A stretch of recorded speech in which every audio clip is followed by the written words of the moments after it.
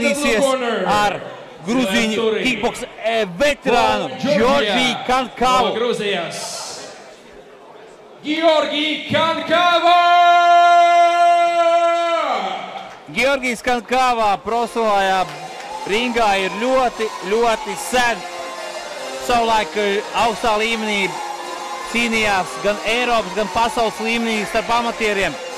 Profesionāls arī viņam ir labi sniegumi, bet uh, sportists jau, jau ir uh, karjeras izskaņā.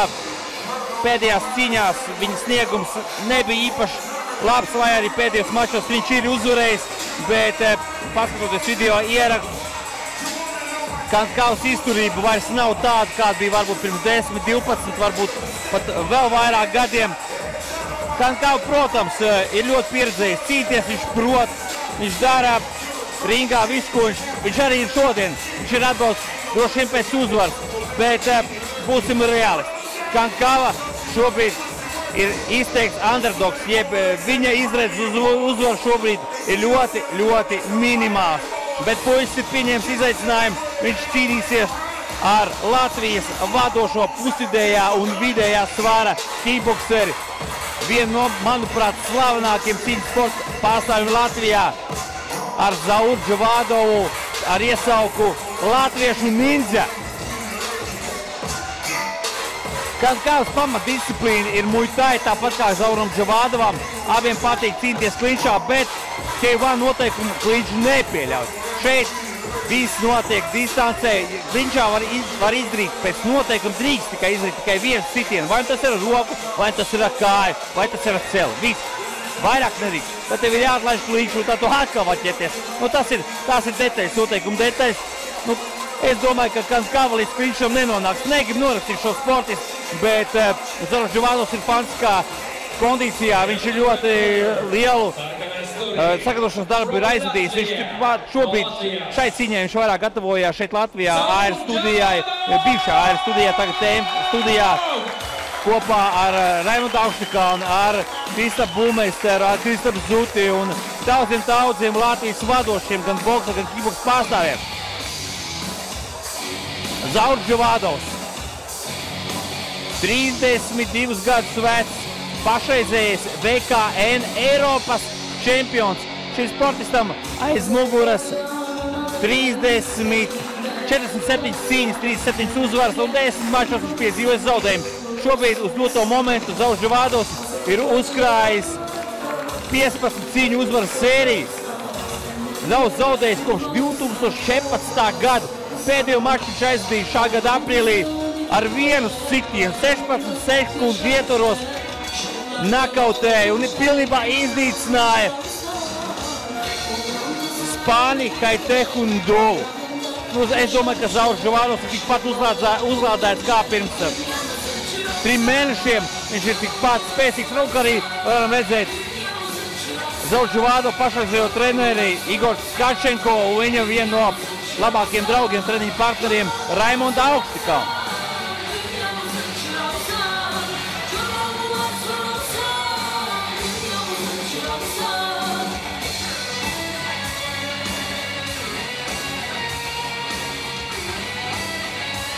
Šī cīņa trīs raundi pa trijām minūtēm. Kā jau teicu, negribu norakstīt uh, Grūzīnu kickbokseru, bet uh, ja viņš izturēs līdz otrajam raundam, tad tā būs, uh, manuprāt, līdzvērtīga. Šis viņa zaudējums būtu līdzvērtīgs uzvarai. Zaužu Vādovs šeit ir izteikts favorīts. Zaužu Vādovs sitieni ir tikpat bīstam kā kāja, sitieni ar kāju, tikpat bīstam kā ar sitieni ar roku. Ap šie bokse, šie kickboks arī savulaik ir aizvadījuši ir boks cīņas. Zavaram aiz mukuši ir trīs boks cīņas savukārt. Kan kāvam divas. Zauram visās trijās izcīņas uzvaras, kan kāvam nevienu uzvaru. Kā kā, jā, iesāk diezgan agresīvi. Nu, izskatās, ka viņš, šis vecais vīrs ies uz pilnu banku. Ir, ir, nav, nav. Jo viņš, viņš apzinās. Nu, Zaurs Žuvādovs, tas ir cita līmeņa kickboksers. Manuprāt, Zauram Žuvadovam sen bija jābūt vai nu Kunlunā, vai nu Glorija. Šīs ir pasaules vadošās kickboks organizācijas. Jā, Zauri Zaur ir noskatījuši vairākas organizācijas, bet tā līdz lieliem līgumam viņš vēl nav nonācis. kā kickboks, jeb uh, cīņas sporta virtuvē Latvijā šeit runā, nu, Zauram ir nepieciešams menedžments. Kaut kā Zaurs ļoti bieži viesojās te nometēs um, Taizemē, Šveicē, kur tik nekur. Ui, laba sitiena kombinācija Zaurs Dživādu izpildījumā. Zaurs prātīgi, Zaurs prasa nekad nesteidzās. Viņš ļauj pretiniekam izpausties, un šeit arī viņš ļāva izpausties, kāda tik dzelžana iz- aizsardzība, kāda ir Zauram Dživādam, grūti iedomāties. Jo atceramies, Zauram Dživādam savulaik viņš bija tāds izaicinošs. Kiboksas patikās nedaudz uzspēlēt uz publiku, izaicināja pretinieks.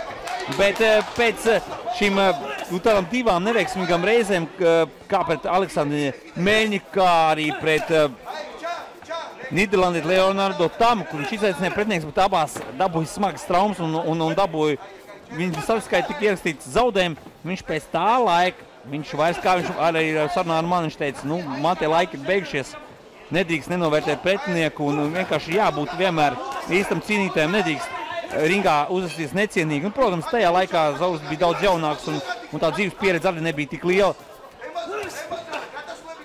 Kurus viņš izskatās daudz labāk nekā es domāju, jo pēdējās divas cīņas, kuras skatījos, kurās viņš izcīnīja uzvaras, viņš bija daudz lēns, viņš bija patiešām lēns, aizsardzība bija diezgan uh, švaka, jo ātri Gruzīns zaudēja mm, izturību, izturību ātri iztērējās, un šobrīd izskatās, ka Gruzīns ir labā kondīcijā, iespējams šī cīņa, kurā viņš ilgi gatavojās, un šī ir viņa, iespējams, zelta stunda, varētu būt zelta mirklis, jo Ne, ja paveicās, ja izšaujās tas slots karš, varbūt, ka viņš pa, uztais pārsteigumu, bet, nu, kā jau es minēju, nu, Zaurs ir tik labā kondīcijā. Protams, nedrīkst novērtēt nevienu, nevienu oponentu. Zaurs to vienmēr uzsvērs, lai cik tev ir gadi, un ringā iekāp, tā jau viena uzvara. Un o, ringā kāp, nu, pret Zauru Džavādu neviens neliks kaut kādu parmozēnu, liek, vienmēr liek tāds, nu, cienījams vīrs, kaut gan, gan kā, es teicu, savulaik viņš bija ļoti, ļoti augstā līmenī, viņš bija skaļš vārds Eiropas tirgu, bet uh, 10 sekundes līdz pēdējā, līdz raunda, uh, līdz raunda beigām. Labi tur rokas pie galvas Grūzīna kickboksers. Zaus strādāja, nu, manuprāt, ne vairāk par 60%. Tātad eh, nākamajā raundā viņa tēmas augsts. Tas ir skaidrs. Priekš manis tas ir neliels pārsteigums. Un kā es minēju, ja Kankava novilks līdz otrajam raundam, tā viņam būs tā kā uzvara. Bet šeit jau pēc pirmā raunda jau liekas, jau tas viņa izredzes daudz lielāks, ka viņš varētu arī izturēt visus atvēlētos raundus un pagaidu redzējām. Protams, pirmajā raundā viņš īsti neko nevarēja izdarīt. Zaurs strādāja tikai zaurs. Kaut ko atbildēja uz pretuzbrukumiem Kankavu, bet uh, nekas bīstams šī gruzīna izpildījumā netika saskatīts. Tāpēc, nu redzēsim.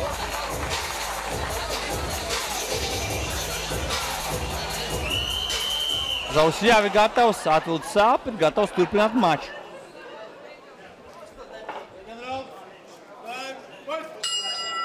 Second round.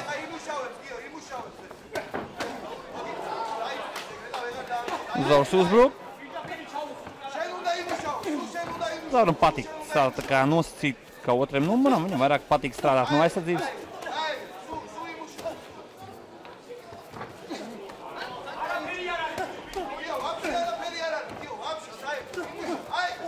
Patīk, kā Grūzīns strādā. Nu, Grūzīns jau ir paguris, bet Grūzīnam izturības bāta ir diezgan pilna vēl. Neskatoties uz to, ka aktīvs bija pirmais rauns. Tieši Grūzīna izpildījumā. Grūzīns izlaiž vienu sitienu.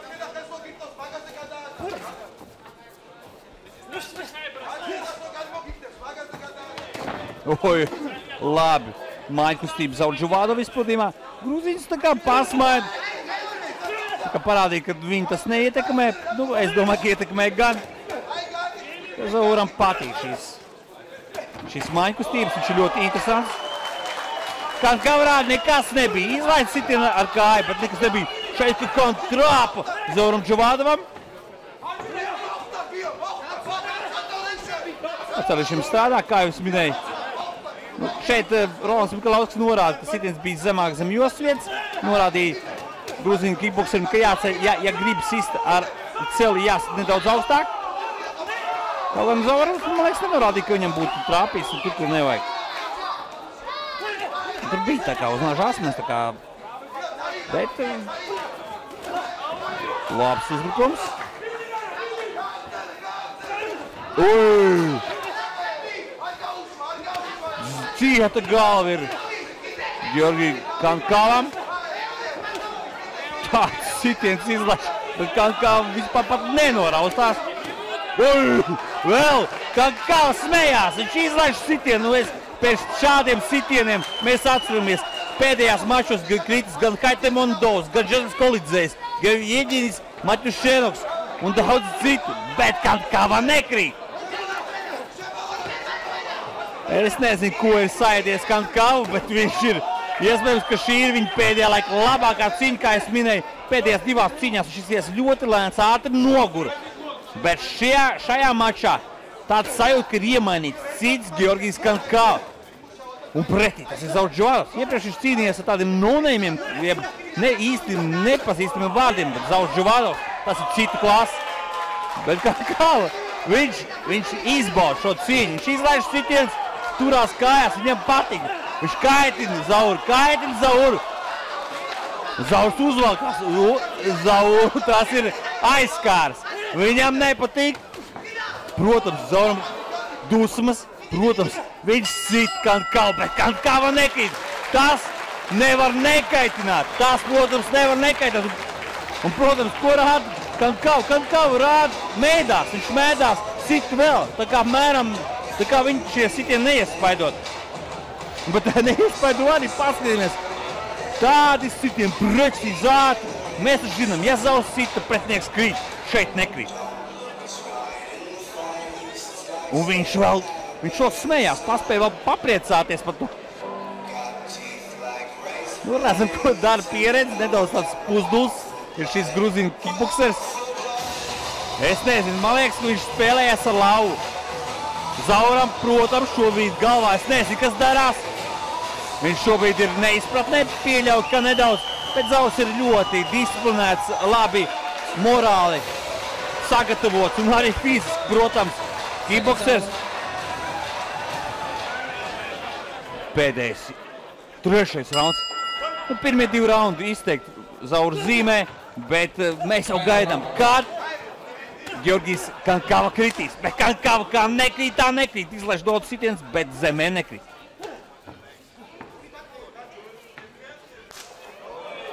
Šeit uz laukiņiem pies, piestādā Žoržu Vādovs. Ja sitieni pa galvu priekš Kankavas ir nekaitīgi, tad jā, jā, jāmeklē citi instrumenti. Un Žoržu Vādovs šeit pievērsties ar sitienu kāju pa kāju, ja blokīgs sitienu. Low Džovādam ir ļoti spēcīgi.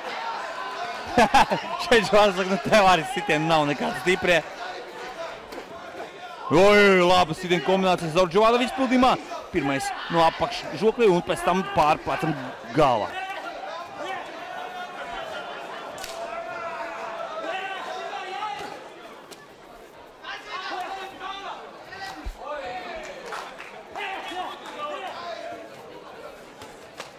Ui, labs sitiens. Arī Zaurs nedaudz piekus. Reti redzēts, ka Zaurs piekust. Un šeit, es domāju, morāli nedaudz Zaurs uh, nogur, jo nu, tādas sitiens, kāds viņš trāpīja Georgiem Kavam, nu, pēc šādiem sitieniem reti, kurš ir stājis kājās. Atceramies, bijušais pasaules čempions Sergejs Murari. Nu, viņš arī nokrita labi, cīņa beigās beidzās bez punktiem, bet knockdownā viņš pabija. Un Zauram sitienu gan ar roku, gan ar kāju tā kā, tā kā smagās mašīna. Tas sitieni ir mežonīgi, spēcīgi. Bet kad kava, nu tik izturīgs, es nezinu. Šī kankavam, es domāju, ir pēdējā laika pat labākā cīņa, labākais sniegums. Jo tik labā kondīcijā, kan kavu, manuprāt, nav bijis pēdējos 5, 6, varbūt pat vairāk gadu un tik cienīgi nostāvēt pret Zoržovānu. Nu, redzam, ka kā nu beidzot ir pagurs. Beidzot ir pagurs. Pēdējā minūte, ir pēdējā minūte. Zauram Džovādam ir, ir tā lieliskā iespēja savā statistikā ierakstīt 23. uzvaru ar knockout. Mazākā 40 sekundes. Laiks vēl ir, laiks vēl ir. Mēs visi gaidām. Mēs visi gaidām. Šeit neiet runas. Uz zaust uzvarēs. Tas ir skaidrs. un mēs gaidām nakaut. Cik ilgi spēs izturēt Georgijs Kankāva? Pēdējās 20 sekundes. Ui, labi izspēlē. Zaurs Žuvādos. Atbrīvot ceļu sitienu, kā vēl viens sitiens, kad kāva stāv. Griezais atkal stāv, vēl stāv. Stāv, knockdown, ir knockdown. Nē, nav knockdown, kaut ko tiesas apstāvē. Likās, ka šā... Viss cīņa ir galā. Cīņa ir galā. Kas par maču? Kas par maču? Mani patīkam pārsteidza, Georgijas Kankava.